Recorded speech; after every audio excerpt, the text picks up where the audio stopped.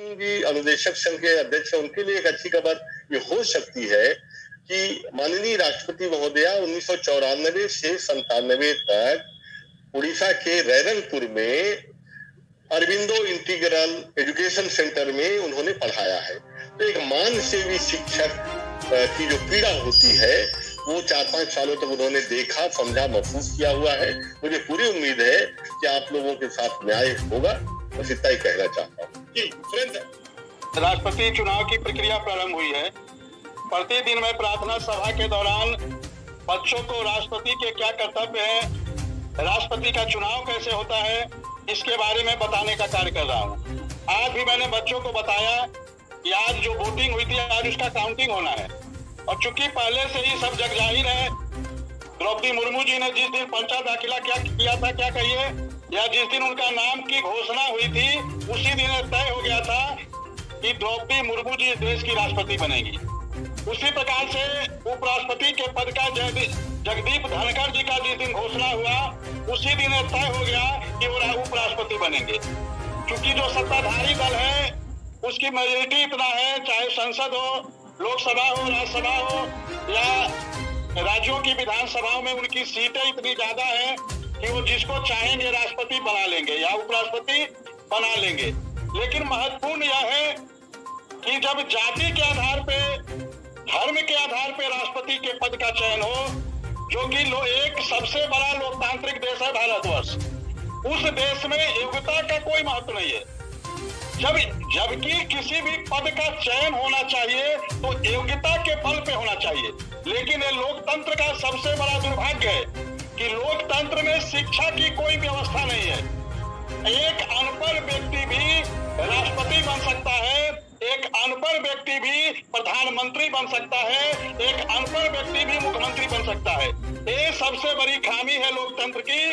आप बताइए, एक जिला को चलाने के लिए, एक आईएएस बनता है, डीएम आईएएस की परीक्षा देश की सर्वोच्च परीक्षा को पास कर कर एक जिला को चलाने के लिए आईएएस बनकर वो बनता है। लेकिन एक देश को चलाने के लिए, एक प्रदेश को चलाने के लिए शिक्षा की कोई व्यवस्था नहीं है।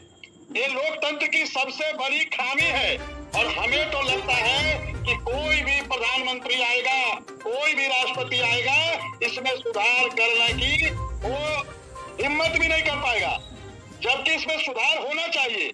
जब जिला को चलाने के लिए 18 अठारह घंटा 20 बीस घंटा पढ़कर व्यक्ति आई बनता है, तब वो जिला का कप्तान बनता है, ज़िले को चलाने की।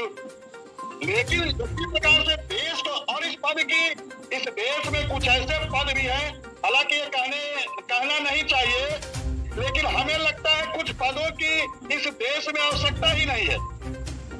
अपना पद खाली होने वाला हो, इस देश के नेताओं का करतूत देखिए। अपना पद खाली होने वाला हो एक महीना पहले, एक महीना बाद। उससे पहले पूरी प्रक्रिया प्रारंभ हो जाएगी। अरे उसी प्रकार से इस देश में रोज़गार का कोई पद खत्म हो, नौकरी का कोई पद खत्म हो, उसकी भी व्यवस्था इस देश के हुक्मरानों को करना चाहिए। यदि कोई नौकरी इकतीस मार्च को हम मानते हैं, कोई व्यक्ति रिटायर हो रहा है उसके पद भरने की व्यवस्था एक महीना पहले आप नहीं कर सकते। लेकिन क्यों करोगे? आपके तो एजेंडा में नौकरी देना ही नहीं है। आपके तो एजेंडा में सिर्फ़ और सिर्फ़ लोगों को परेशान करना है। समस्या स्वयं पैदा करना है। समस्या का समाधान नहीं करना है। मेरा तो कहना है कि कुछ इस देश में कुछ ऐसे पद हैं, उस पद को समाप्त कर देना चाहिए।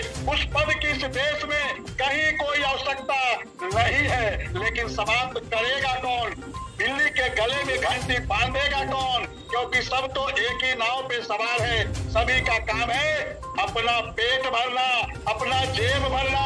और इसीलिए मैं बार बार का दुष्यंत कुमार की, वो पंक्तियाँ याद आती है कि कहा तो बैठा चिरागा।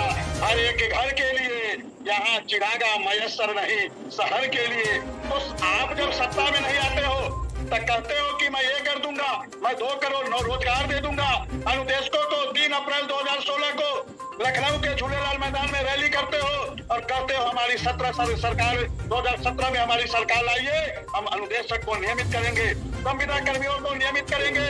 और सत्रह में भी सरकार आती है। सत्रह में आपने कुछ नहीं किया। और जो हमारा सत्रह हज़ार पास होता है, वो भी आपने नहीं दिया। और हाई कोर्ट के आदेश के पालन भी आपने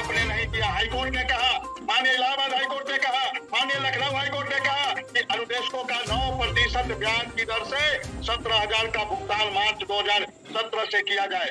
लेकिन आप न हाई कोर्ट की बात मानोगे? न सुप्रीम कोर्ट की बात मानोगे? हाँ मानोगे कब? जब आपके पक्ष में फैसला आ जाएगा तो बड़े बड़े प्रेस कॉन्फ्रेंस होंगे।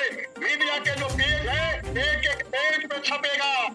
इस देश में हम लोग हाई कोर्ट का निर्णय का सम्मान करते हैं। सुप्रीम कोर्ट के निर्णय का सम्मान करते हैं लेकिन जब अनुदेशकों के पक्ष में फैसला आएगा, जब संविदा कर्मियों के पक्ष में फैसला आएगा, समान कार्य, समान वेतन की बात सुप्रीम कोर्ट कई बार कह चुकी है। आप उसका पालन नहीं करोगे, लेकिन शिक्षा मित्रों के फैसले खिलाफ फैसला आएगा। पच्चीस जुलाई 2017 को शिक्षा मित्रों के खिलाफ फैसला आया उसको आपने तुरंत लागू कर दिया। वही हाई कोर्ट वही सुप्रीम कोर्ट कहती है कि समान कार्य के लिए समान वेतन दिया जाना चाहिए। अनुदेशक समान कार्य के लिए समान वेतन की बात करता है। अनुदेशक भी उतना ही काम करता है। हमारे ही डिग्री, हमारे और हमसे कम डिग्री पे।